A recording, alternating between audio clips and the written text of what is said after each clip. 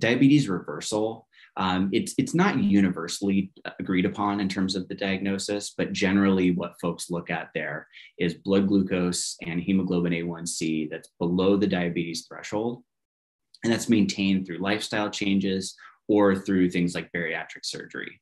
Um, so one important thing to note there is that sometimes you'll hear people, you know, put up some um, criticisms or questions around well if somebody reverses their diabetes and they go back to eating nothing but ice cream again then it won't be maintained. And, and that's true. So it, it's important to note that this is something that people need to make lasting changes and it's going to vary person to person. You know i see in my patients that some people can add back some carbohydrates to find a level that they find more sustainable and other people need to stay you know more in that potentially ketogenic range um, and then we have remission, where we look at partial remission, which is that A1C below 6.5 uh, for greater than a year and off diabetes meds.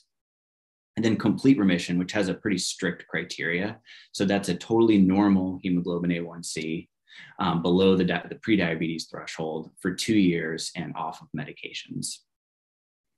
And one thing that's interesting to note there is that Kaiser did a study a few years back um, and they looked at their sort of remission rates in their general population.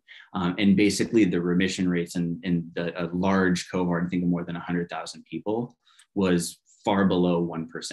So the idea there is that generally, when people get diabetes, um, it's not expected that they're going to go into re- reversal or remission. Um, but I'll show you a little bit how we can potentially change that.